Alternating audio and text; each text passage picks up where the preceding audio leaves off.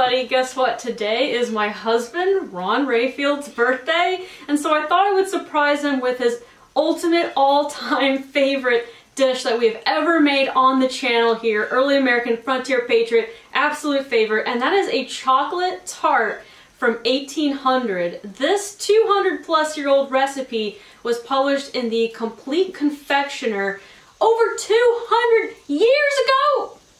Ron is not that old, but it is his birthday today. I wanted to surprise him. We've only ever had this tart once ever, and so this is gonna be the second time I've ever made it, but still to this day, it's been over a year and he cannot stop talking about this tart. I remember it was really good too. I'm gonna make it again for you guys, um, kind of quickly this time, and I hope that you at home can try it as well because man, this is one of the best desserts I've ever tried. And so I have my pot here, and to get started, the recipe or receipt as it used to be called says that we have to combine cream with the yolks of five eggs. This is gonna be rich. This ain't diet food. I mean, it's chocolate tart, what do you expect? But this definitely is not some diet food. Now that our cream is in our cooking pot, it wants me to add a dash of milk, maybe to thin it out a little bit. So that was just maybe two tablespoons worth of milk, no more. You want this to be real rich. Speaking of real rich, five egg yolks. Okay, here we go. My least favorite thing to do is just to sit here and... That yolk wants to come out. Okay.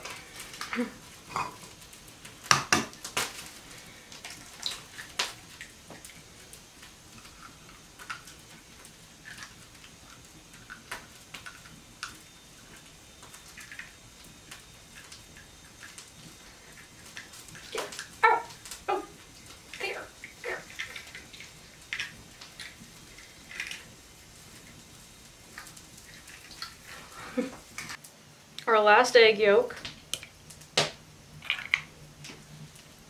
rice flour, salt,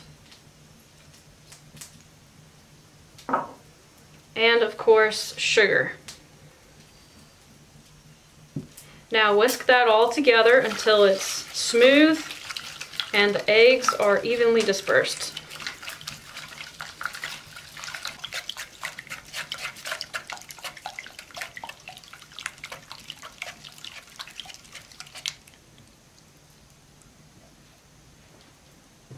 Now we're going to heat it up on low heat for about five to seven, maybe up to 10 minutes. And we want to constantly whisk it during this time. We don't have the chocolate in it yet. That happens a little later. But the point of heating it up first is we gotta dissolve this sugar because right now it's grainy. So let's go ahead and hang that in my hearth. You don't want it to come to a raging boil. You definitely don't want that. But you want it to start steaming. And make sure you stir very frequently.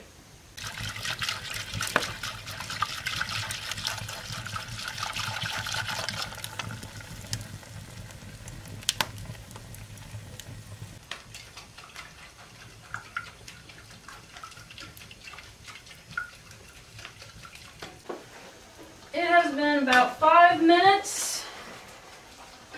This is definitely hot enough. The sugar is dissolved, and so now I'm going to very quickly add in our chocolate and just let it naturally melt in there.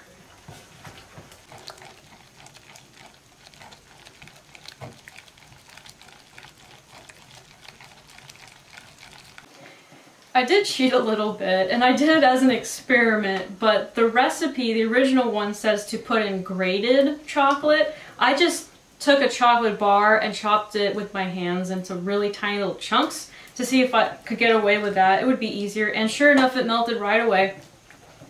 Now, random fact for you, if you go to Google and you just Google when were chocolate bars invented, it'll say 1840 something. Uh, that's not completely accurate because we have advertisements from the mid 18th century advertising the sale of bars of chocolate. The problem is, is when you Google things like that, when was this invented? When was that invented? It will, like for chocolate, for example, it'll tell you when chocolate snack bars were invented. Like think Hershey's or Snickers or Twix bar or something like that. That's a snack bar. But in this time period, pre-1840, they did have chocolate bars, but they were baking bars. They were not meant to just be eaten straight off. I mean, I'm sure some little kids snuck it, but they were baking bars. They were chocolate was usually sold as bars. And so you can use whatever type of chocolate you want for this recipe, but if you're wanting something more accurate and something more delicious, you really have to use a spiced chocolate because bars of chocolate in the early 1800s were almost always spiced. They were very rarely sold plain. That would be an inferior chocolate. Now, when I say spiced, I mean they were sold with cinnamon and nutmeg and clove and chili powder in it and they were very complex, very complex notes besides just the chocolate. Modern baking bars are very plain. It's just chocolate, milk, and sugar. So this one that I picked up today, it has all the cool stuff in it like I just said, but it also has orange zest in it as well. And I have not tried that yet with this recipe, maybe giving it a little orange flavor, but I thought that would taste really good. So when I saw it, I said, hmm, I'm gonna try that out. I'm gonna try it out right now.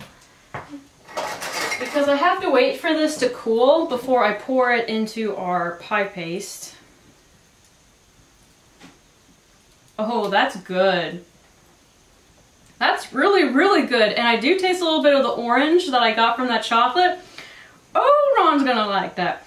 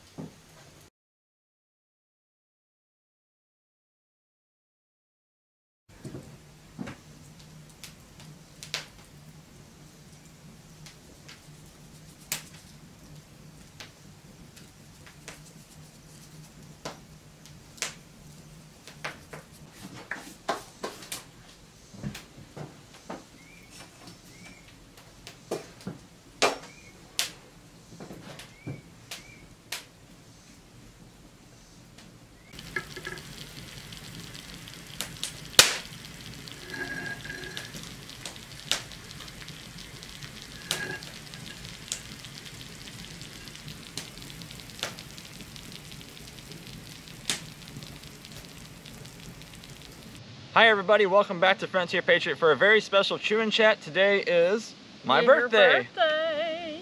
And we're here with a chocolate tart, or it's called a chocolate tart, but this looks like a pie. A chocolate pie. Mm. we're here at one of my favorite historic sites in Prairie du Rocher, Illinois at Fort de Chartres. And I got my favorite dessert that we've made on the show, and I got my favorite person in the world, and my favorite friends watching. It's a good day. It's gonna be a good day, Ron. And I got two birthday presents for you Oh. for you to open up. But first you have to try your chocolate tart. This is from 1800, the Complete Confectioner, 200 plus year old recipe. You requested this for your birthday, so I made it for you. I hear you did something a little bit different this time. That's right. I used chocolate that has orange zest mixed with it. I have I have not tried this before, as you can see. It's not cut into yet. so, uh, you and me are both gonna try this for the first time and see if that was a good idea or not. All right, well, I'm guessing it was probably a great idea. And it was also your request to come to your favorite place here, Fort de Chartres. Yeah, she said, what do you want to eat on your birthday and where do you want to go? And this was my options, He, he, or my selections, I he should say. thought, well, I could use this. Hand me your plate. Oh, you're gonna serve me? I just need to serve the birthday boy first. Eh, too late, uncut it. Well, thank you. Every other option requires spending a lot of money. Uh, so Ron decided just to come to the fort. Keep it local. yeah. This is right across the river from us. We live on the Missouri side. I butchered it, I'm sorry. Ron, it looks totally fine to me. looks good That's to a, me. that's a big piece. Yeah, maybe because it's that's a huge piece. I think it's the bigger the piece, the harder it is to get it out without it cracking a little bit. Oh, yeah. wow, looks like chocolate mousse. Oh, shoot. There it goes. Oh well, it's his birthday. He can do what he wants with his own pie, I guess. were you gonna hold it up like that? That's what you were gonna do? Yeah. Well, that's why it fell apart. This reminds me of my first birthday. It was chocolate cake and I was Oh, making a mess with it. your first birthday? What do you mean? Like when you were one years old? Yeah, my first birthday I had chocolate cake. I You I just, have and I good just- memory. I just tore into Laura's pictures. Oh, I was gonna say. Nobody remembers their first No, birthday. No, I don't. Photographs. Okay, birthday boy always gets. Wait, wait, wait, wait, wait. Happy birthday to you. Happy birthday to you. Happy birthday, dear Ronald. Happy birthday to you. And many more. Thank you. Yep. Thank you guys. You already got chocolate on your front tooth. Do I really? Mm-hmm. Mm. Mm. Okay, right off the bat, I taste orange. I taste the orange. That's really good. That tastes high class. That's very good. This might be better than the original. Oh. Hmm. Yeah, that was a Hmm. that was a pretty good idea.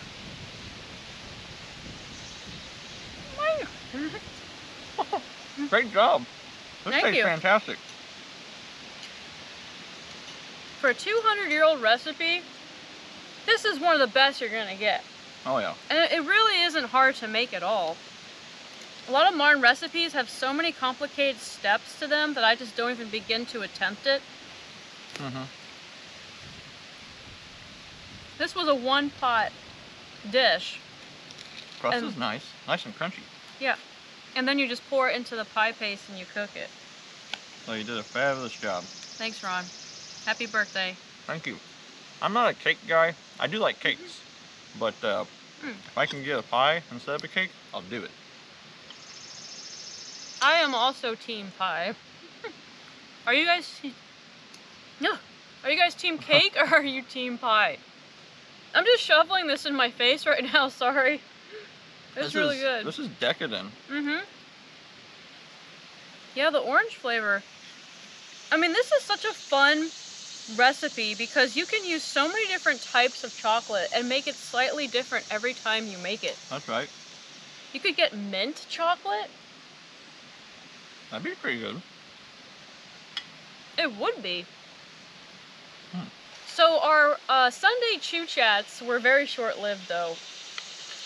Yeah, according to the uh, analytics or analytics, however you want to say it, on YouTube, it shows that most of the traffic on YouTube is on Sunday afternoon, evening, but the numbers that are recently coming in on the videos we put out are saying otherwise. So I think we're gonna go back to uh, We're gonna go back to Wednesdays. Wednesdays, and that'll help everybody get through the week too, because we like Mhm. to we like to hang out with you guys on Wednesday evening. And it's like, Mhm. all right, there's only two days left of the week, and then it's over with. hmm So it's it's a good thing to have during the middle of the week, I think. We had people that were saying, "Oh, you know, I can't make it to your Chew Chat lives because I'm at work," and we felt really bad about it. So we looked into our YouTube page where it tells us like the most times people are watching our videos, and it was Sunday. Uh-huh. We tried it for two weeks. It's not working out. So we're just gonna go back to Wednesday and say, forget about it. It's just Wednesday forever now. it's been Wednesday for years and years. We Right. tried to change it for two weeks, didn't work out. We're going back to Wednesdays. Right. Unless there's somebody sick or something, then it might be on a Friday or, or whatever. But Usually it's Wednesday. but plan on it being Wednesdays from here Mhm. on out again. This is so good. this needs like nuts or something in it. Need some whipped cream. That was a lot of work to make back then. yes, it is. Had to be hand whipped. Hey, you guys like my new hat? Thrift store find. Three dollars. Mm-hmm. I'll take that. Finally, a hat that actually does keep the sun off of you because all these historic hats just seem to be decorative only. Yeah, they don't. Tricorns don't keep the sun off you. A top hat don't keep the sun off you. Not really. Uh, only the flat brimmed hats, and the only other one I have is my felt one, and that thing is super hot when the sun's hitting on it because it's black. it's wool. Yeah. so the straw one during the summertime is excellent because my straw tricorn hat that I wear a lot feels amazing unless the sun's blasting me in the face. Then there's no coverage, but it Mhm. breathes. And then the black wool hats, they don't they don't breathe at all. So it just gets all hot and sweaty up there. That was so good. And for a more modern twist, I would add coconut to it. Whoa. I just feel like it needs some nut. Coconut was interesting. mm-hmm. Don't you think it would taste good with coconut? Coconut flakes? I've never had chocolate and coconut together. Yeah, Yeah. you. Almond Joy bars. Okay, I take that back. I have Not had, period correct, but come on. I know you've had it. I do love them, especially the red ones, the Mm. the mounds, the one because the red ones are dark chocolate. Early 1800s, I did actually find uh, a cookbook that has mentions of coconut in it. So they were using coconut, long story, but it was kind of an exotic thing. Not everyone could access to it. Well, that was so rich. I, I- I, can't eat anymore. I it. need a minute before I eat another piece. That, I mean, it's all cream and egg yolks in there. It's very good. That is so good, but so rich. you did a great job. Thanks. It's it's really really easy to make. You just throw everything together in one pot, stew it up for a couple minutes, and then you pour it in a pie shell with some chocolate and you bake it, and that's it. Wow. Well, before we get into presents, let me tell you guys a little bit about Fort de Chartres. Uh, originally in this area here in Prairie du Rocher, Illinois, there have been three previous forts to this and they were all wooden. And that's starting about 1720.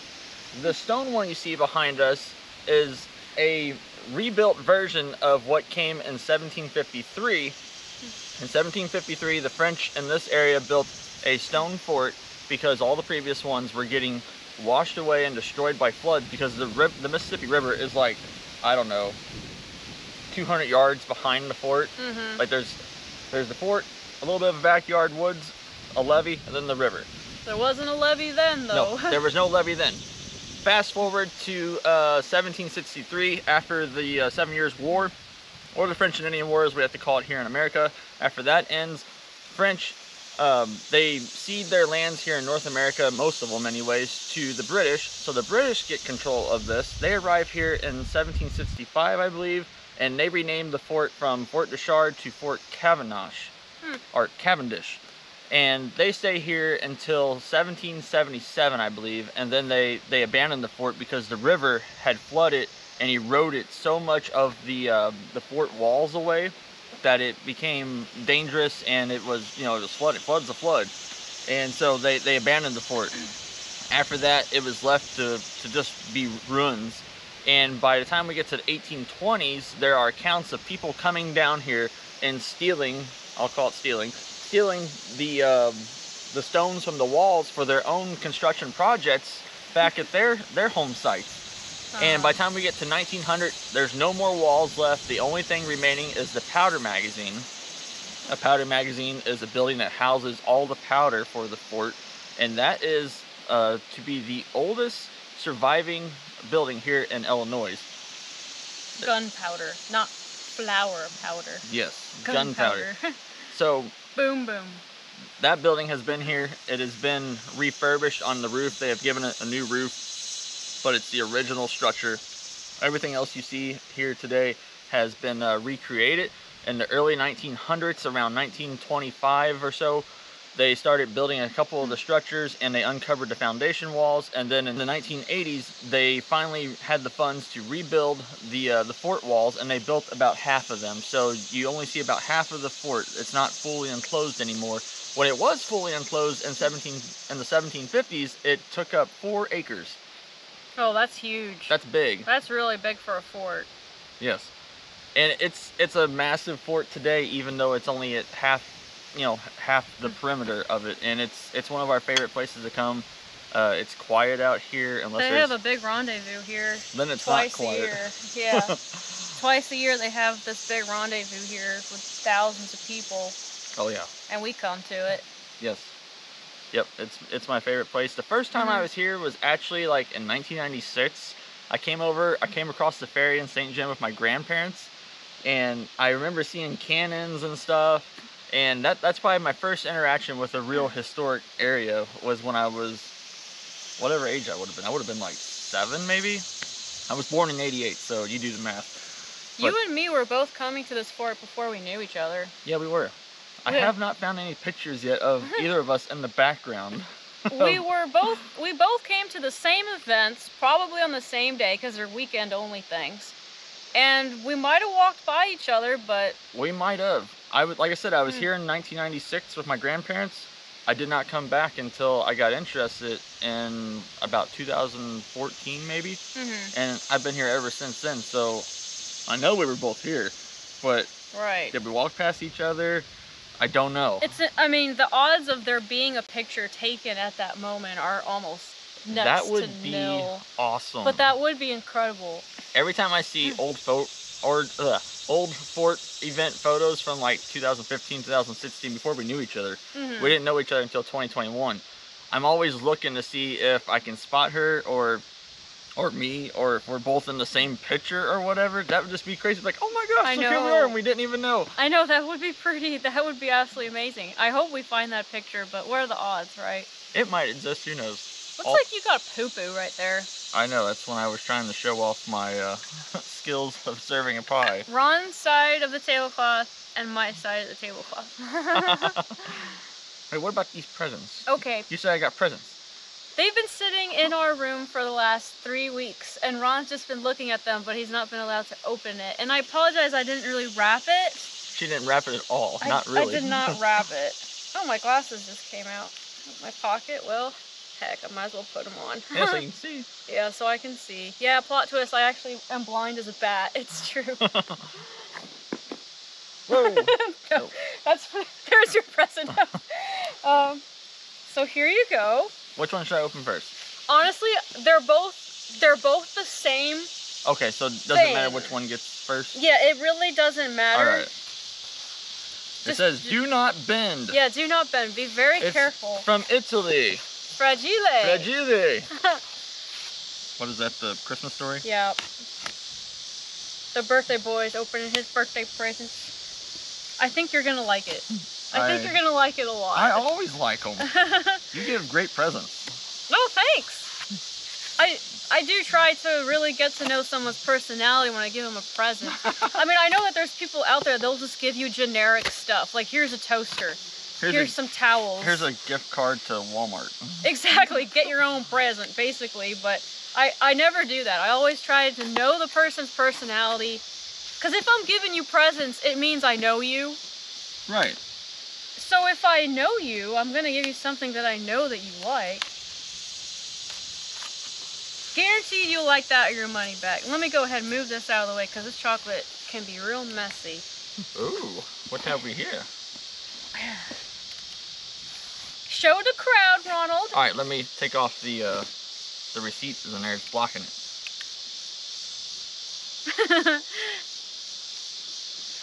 This is cool. Giving people gifts is fun. Give me a minute. I'm working on it.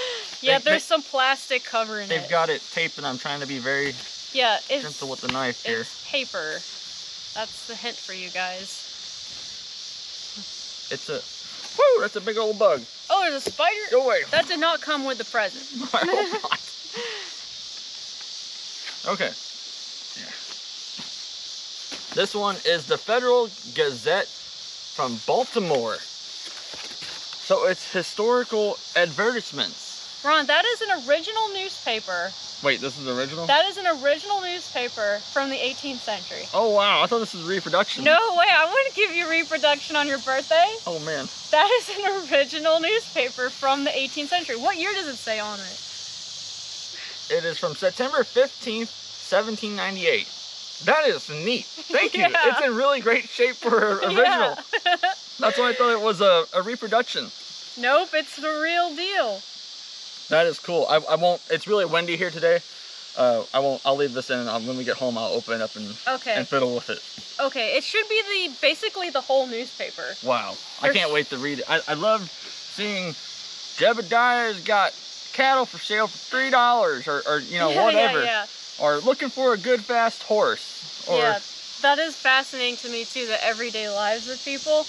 I know you're gonna love it, but I'm gonna be sitting there right on with you, trying to look at it too. well let's see what this one is Yep.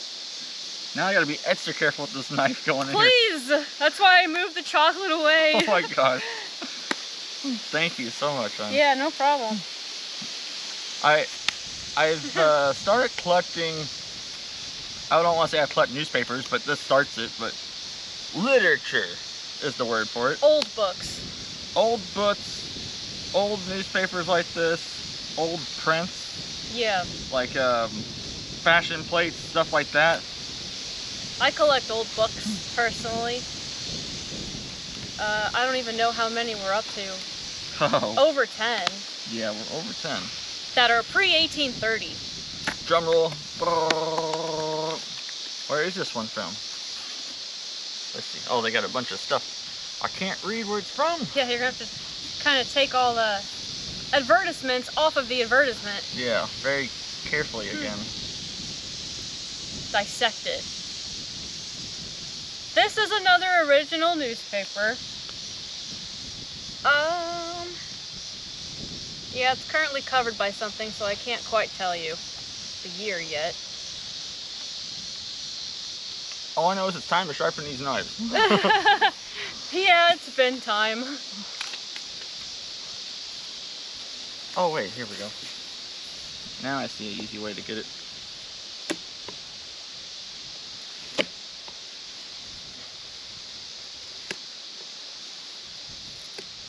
I'm glad that I brought a knife and not scissors, because scissors wouldn't have worked really.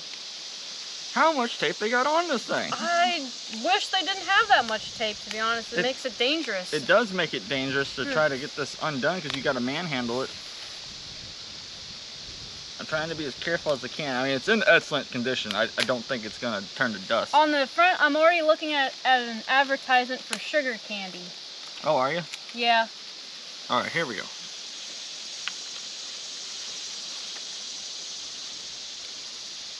Oh, come on and now. lead manufacturing. I'm trying my best, guys. There you go. Okay.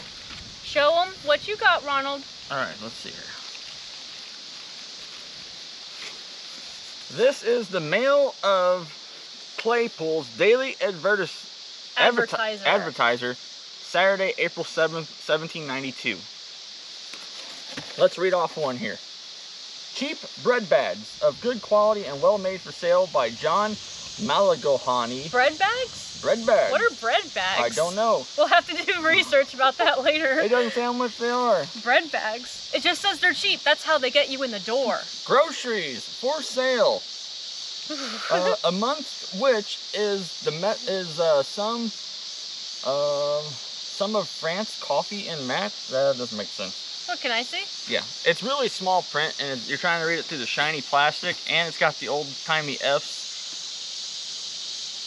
Coffee? Oh, They're selling coffee. yeah, but- it's an advertisement. It says groceries for sale, among which is some from France coffee sold in mats. mats. Mats. I don't know what that is. Maybe it's a brick of coffee. Maybe. Maybe. I'm not quite sure. This is really cool, hon. Thank you. Oh, a ball. There's an advertisement for a ball. Oh, Right there. Huh. James Robardet respectfully informs the ladies and gentlemen of this city that his ball will be held on Tuesday the 10th, something at Mr. Oeller's house in Chester Street. The ladies who are acquainted with the parents of his pupils will be gratefully supplied with tickets by making application to them. that's really neat. Yeah, this is gonna be so fun to look through. Yes. Um, I believe that one or both of them does make mention of George Washington. Oh, cool. Yeah, that's why I actually got them. I love gifts that you can use. We can use this, and it's a neat novelty collector's educational. item. Yes, okay, educational. here you go. Here's your Thank, gift. thank you I very much. I got it for you, but I'm the one who's staring at it. Thank you very much. I love you.